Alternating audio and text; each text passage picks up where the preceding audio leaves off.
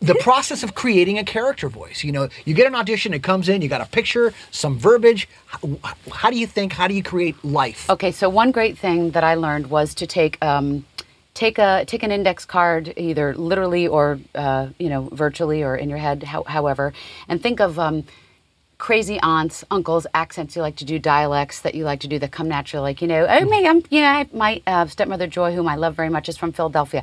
So I get real obsessed with this Philadelphia accent. Now, most cartoons don't happen, you know, back east in Philadelphia.